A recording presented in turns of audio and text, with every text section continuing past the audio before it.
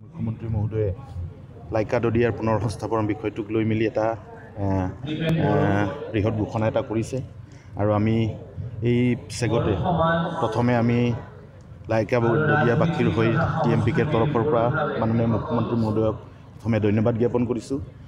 আৰু যোৱা আঠাইছ তাৰিখে হাই লেভেল কমিটি লাইকা দদিয়াৰ যি পুনৰ সংস্থাপনৰ হাই লেভেল কমিটি অসম চৰকাৰৰ আছে সেই হাই লেভেল কমিটিৰ লগত আমাৰ টি এম পি কেৰ বৈঠক হৈছিল। আৰু এই বৈঠকত আমি লাইকা আৰু দদিয়াৰ যি পুনৰ সংস্থাপনৰ বিষয়টো আছিল সেই পুনৰ সংস্থাপনৰ বিষয়টোৰ সম্পৰ্কত হাই লেভেল কমিটিক আমি পূৰ্ণাংগ আমাৰ যি লাইকা দদিয়াৰ দাবী আছে সেই দাবীৰ কথা অৱগত কৰিছিলোঁ। লাইকাৰ যি ৰাইজৰ যি পুনৰ সংস্থাপন পাহাৰপুৰ আৰু নামফাই অঞ্চলত কৰাৰ ব্যৱস্থা গ্ৰহণ কৰিছে। কিন্তু লখিমপুৰ আদাখনত যি দদিয়াবাসীক পুনৰ সংস্থাপন কৰিব ব্যৱস্থাটোত আমাৰ দদিয়াবাসী ৰাইজে কিছু আপত্তি দৰ্শাইছে আৰু সেই বিষয়টোক লৈ মেলি আমি টি এম পি কেৰ তৰফৰ পৰা আমি হাই লেভেল কমিটি আৰু অসম চৰকাৰক পুনৰ সেই বিষয়টোক বিবেচনা কৰাৰ কাৰণে আমি তেখেতসকলক আমি আহ্বান জনাইছোঁ।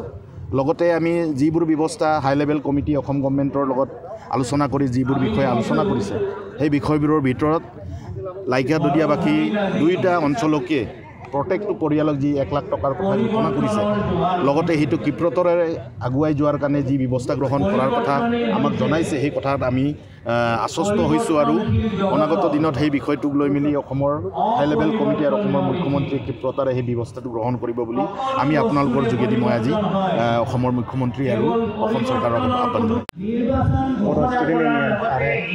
প্ৰমোদ বৰ ছাৰ আৰু হেমন্ত বিশ্ব শৰ্মা ছাৰ বহুত বহুত शर्मा सारखौ बहुत बहुत धन्यबाद आरो मा बुंनो जोंनावथ' दा बुंनांगौआथ' बहुद दं खिन्थु खामानि मावनांगौबो बहुद दं जोंनि माबानिफ्राय दा बेखौनो आं रिकुवेस्ट खालामो जोंनि प्रमद बर' सारा जाहाथे एसे जोंनि स्पर्ट्सनि फारसेबो एसे गुरुत्त' होयो बेखौनो आं रिकुवेस्ट खालामो दायो, बे समाव नोंथाङा जे सासे राफोद गेलेगिरि जाबाय, दायो बे समाव नोङो जोंनि बर' लाइमोनफोरनि थाखाय मा बाथ्रा बुंनो सानो? आं बेखौनो बुङो, बर' लाइमोनफोरनि थाखाय। दा जोंनाव एगजामपोल दा हलिचरन खालि फुटबलल' नङा आरोखि, गासिबो जों जोंनि माबायावनो दङ। जमुना बर' सिङावबो दं बहुत मोजां मोजां दं जोंनाव। मोजां मोजां जोंनि माबानिफ्राय थारमाने मोजां मोजां ओंखारगासिनो दं दा, जेसेबां प्लेयार दं। आरो जुदि जोंनिफ्राय जुदि इयुथखौ जुदि मोजाङै जों डेभेलप खालामोबा आरो जोंनिफ्राय एभेलेबेल प्लेयार ओंखारगोन खालि फुटबलावल' नङा गासिबो स्पर्ट्सआवनो थारमाने बहुद ओंखारगोन आरो बेफोरनि थाखाय जोंहा खामानि मावनांगौ बिराद दं बेफोरखौ जाहाथे सारे सारा जोंना प्रमद सारा जाहाथे गुरुत्त होयो आं बेखौनो रिकुवेस्ट खालामो नेसनेल गेलेनायनि थाखाय जा बेफोरो थारमाने पलिसि खालायनांगौ जाहाथे माबानि थाखाय स्पर्ट्स पार्सननि थाखाय जाहाथे जुदि नेसनेल गेलेयोबा माबायोबा बा इन्टार डिस्ट्रिक्ट बा सेनियर लेभेल माबा लेभेल बेफोरनि थाखाय जुदि पलिसि खालायनानै होयोबा मोनसे मोजां जागोन आरोखि स्पर्ट्स पार्सननि थाखाय।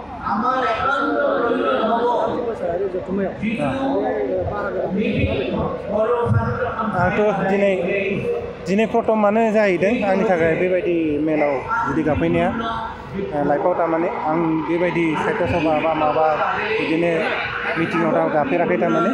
दिनै आं बिराद मोजां मोनदों जाहाथे आंखौ एसेबां रेसपेक्ट खालायदों प्रमद सार आरो हेमेन्त बिश्व शर्मा शर्मा सार आरो जोंनि अल बड' स्टुडेन्ट इउनियननि जेसेबां आफादगिरिफोर दं बेफोर आं बहुत थेंक इउ दा बेनि थाखायनो आं बिराद मोजां मोनदों आंखौ सायाव मा होनो बेसेबां होनदोंमोन बाजि दा बाजि बाजि बोसोर जाबाय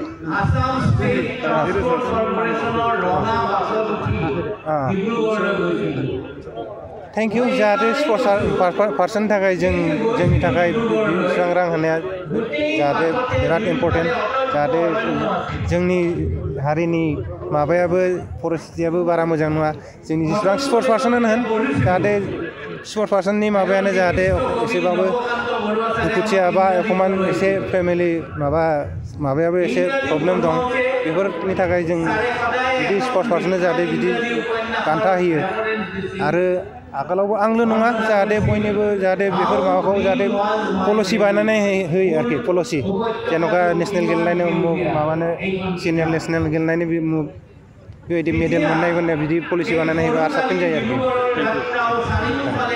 বড়ো ছাত্ৰ সন্থাৰ তেৱন্নতম বাৰ্ষিক অধিৱেশন আছিলে আহ, এই বাৰ্ষিক অধিৱেশনত আহ, যোগদান কৰিবলৈ পাই সঁচাকৈ আমি গৌৰৱ অনুভৱ কৰিছোঁ আৰু বৰ্তমান অসমত আমাৰ জাতি জনগোষ্ঠীৰ মাজত যি একতা ভাতৃত্ববোধ আৰু সমন্বয়ৰ এক নতুন আহ, পৰিৱেশ আমি দেখা পাইছোঁ সেই পৰিৱেশ আমি হাতত ধৰি ৰাখিব লাগিব যাতে অনাগত দিনতো আমি জাতি হিচাপে বিশ্বৰ বুকুত গৌৰৱেৰে সৈতে জীয়াই থাকিব পাৰোঁ। ছাৰ অখিল গগৈয়ে আপোনাৰ শিৱসাগৰৰ পৰা নিৰ্বাচন খেলাৰ কথা কৈছে। শিৱ আপোনালোকৰ তাত প্ৰাৰ্থীজন দুৰ্বল নহ'ব নেকি? দুৰ্বল নেকি? মইতো শুনা নাই তেনেকুৱা।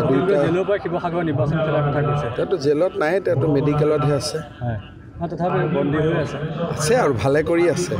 ছাৰ ৰিপুণ ভালে কুশলে আছে। ছাৰ ৰিপুণ বৰাই আজি কৈছে বিজেপি অসমৰ পৰা নিচিহ্ন হৈ যাব আৰু আপুনি পলিটিকেল স্ক্ৰীণত নাথাকেই। কি ক'ব? ৰিপুণ ৰিপুণ বৰা প্ৰথমতে গহপুৰতে খেলক। তেওঁ গহপুৰৰ পৰা জিকক। তাৰপিছত অসমত ৰাজনৈতিক পৰিৱৰ্তন হৈ থাকিব নহয়। ৰিপুণ বৰাই আপোনাক চেলেঞ্জো কৰিছে গৰ্বৰ খেলি দেখা বুলি এবাৰ কৈছিলে। ৰিপুণ বৰাই গহপুৰৰ পৰা খেলি দেখায়ক দেখাওক। আৰু তেওঁ জিকক। তাৰপিছত বাকী কথাবোৰ হ'ব নহয়।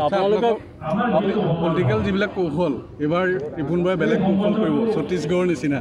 তাৰ কাৰণে প্ৰশিক্ষণো লৈ আছে ৰাজীৱ ভৱনত। কি কৈছে? মই কি ক'ম আৰু ৰিপুণ বৰাক মই কিমান ভালকৈ জানো ৰিপুণ বৰাৰ কথাৰ উত্তৰ মোক কিয় দিয়া? ছাৰ ছাৰ হাণ্ড্ৰেড প্লাছ পাম বুলি কংগ্ৰেছেও কয় হাণ্ড্ৰেড প্লাছ তাতে কোনে দুশখন চিট হৈ গ'ল দেখোন চিটটো এশ ছাব্বিছ আপোনালোকে কংগ্ৰেছৰ কথা ইমান গুৰুত্ব দি কিয় শুনি সুধি আছে? বৰঞ্চ গহপুৰত থকা সাংবাদিকেতো সুধিব নালাগে বেলেগে সোধা বেলেগ কথা। যিসকলে গহপুৰত আছে ক'ৰবাত আৰু বৰপেটা ধুবুৰী গোৱালপাৰা সাংবাদিকে সোধা কথা বেলেগ কথা কংগ্ৰেছৰ কথা। এনেই সভাপতি নামত আৰু কি আছে?